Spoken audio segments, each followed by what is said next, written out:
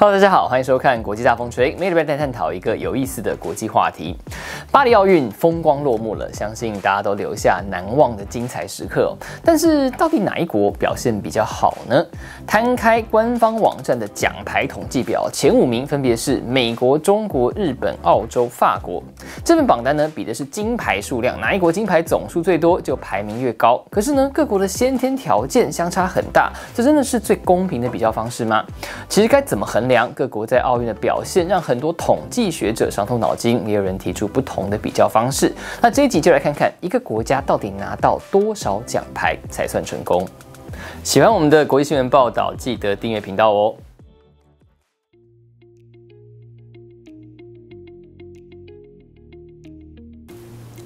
哪一国才是奥运大赢家呢？现在最主流的排名方式有两种，一是比金牌总数，巴黎奥运官网就是按照这个逻辑，所以像澳洲明明总共赢了五十三面奖牌，比第三名的日本还要多，却因为金牌只有十八面，少日本两面，所以排名在日本后面。地主国法国也因为金牌只有十六，屈居第五。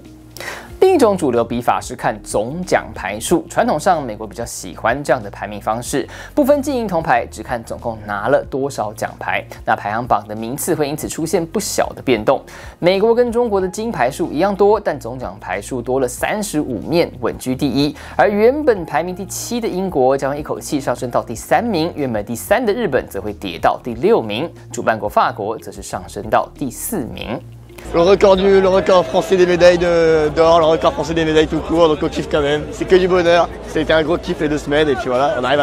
但这两种排序方式都有差不多的缺点。如果只看金牌数或总奖牌数，一定会偏向人口多、经济强、资源丰富的大国。从二零零零年的雪梨奥运，也就是过去二十四年六届奥运以来，人口世界前三、GDP 世界前二的美国和中国，始终稳坐前三名的宝座。为了修正这个偏误，也有人提出人均奖牌数的概念，也就是平均多少位国民可以产生一面奥运奖牌。那如果换成这样的比法呢？排行榜会发生天翻地覆的变化。以巴黎奥运来说，人均奖牌数前三名通通是加勒比海岛国。第一名格瑞纳达，全国人口只有十一万多，比澎湖多一点，却拿下两面奖牌，平均每五万多人一面。第二名的多米尼克，全国才六万多人，也拿到一面奖牌。第三名是台湾友邦圣露西亚，平均九万多人就有一面奖牌。那这一次两面奖牌中，包括圣露西亚史上第一面奥运金牌女子一百米赛跑冠军。Today is a proud day for me, a proud day for St. Lucia, a happy day for me. 看到这边，不难发现，人口少的小国，只要在某个项目拿到一面奖牌，人均奖牌排名就会大跃进，似乎又是另一种的不公平。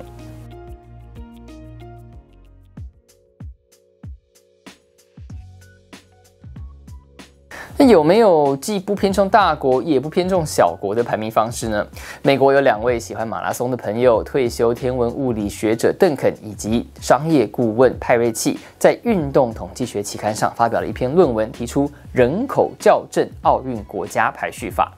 这种比较方式的逻辑是：假设所有参赛国的人夺牌几率都一样高，那么各国夺牌几率应该跟人口成正比。例如，美国人口是澳洲的十三倍左右，那夺牌几率也应该是十三倍。那这个模型的计算方式要看两项条件：第一，在考量人口数字之后，某个国家理论上应该拿到多少面奖牌；第二，跟预期奖牌数相比，这个国家实际拿到这么多奖牌的几率有多低？几率越低的国家，排名。就越前面。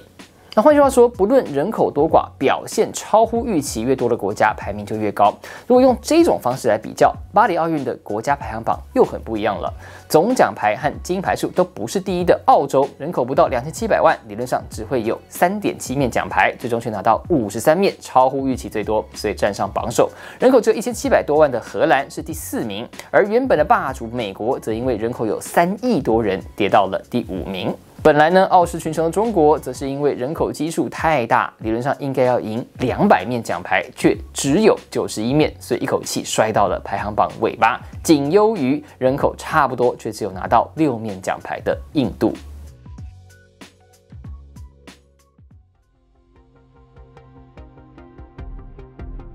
话又说回来，难道经过人口校正的排行方式就是最公平吗？也不尽然。提出这一套理论的邓肯和派瑞奇也坦诚，没有绝对正确的排行方式。澳洲统计学者指出，人口校正法的计算方式没有问题，问题在于它假设各国运动员在所有项目的夺牌几率是一样的，但在现实中，各国不会每一个项目都参赛，而且各国可能会针对某几项运动投注更多的资源，在这些项目中。这些国家的运动员很可能比没有投注资源的国家夺牌几率更高。那为了解决怎样比较各国表现才公平的问题，还有其他学者提出各种模型。例如，看重经济的学者认为人口多少不重要，而是国家有多少资源，所以用每一千亿美金 GDP 可以产生多少面奥运奖牌来比较各国的表现。另外，也有人认为金牌大于银牌和铜牌，给金银铜牌不同的加权比重。还有人考量各国政治模式，甚至是是文化差异。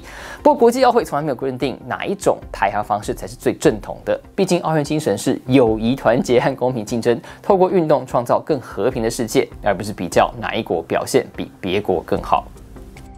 邓肯和派瑞奇说：“其实提出人口校正理论，也不是为了创造最公平的比较方式，而是希望能够转换视角，鼓励那些人口不多不少的中型国家，还是可以客观衡量自己的表现有没有超乎预期，而不是每一次都只能仰望排行榜首的美国和中国。”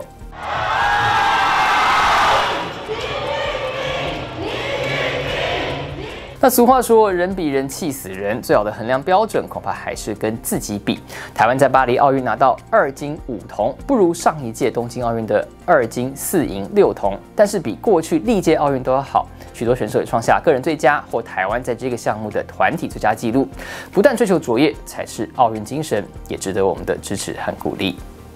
回到风吹，我们下回见。